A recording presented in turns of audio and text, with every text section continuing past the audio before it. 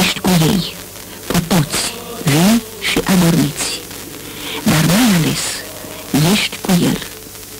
De acolo, din Sfânta Sfintelor, te vede, te știe și te așteaptă. Nu numai acum, ci te așteaptă mereu, oricând. Îi așteaptă pe toți, dar și pe tine anume,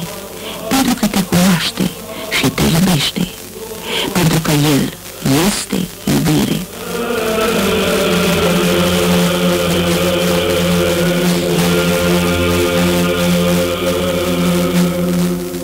Atunci când participi la Sfânta Liturghie, în această biserică a ta, și de pildă rostești crezul cu toată suflarea care este de față, glasul tău, deși amestecat cu al celorlalți credincioși, pentru el este glasul tău.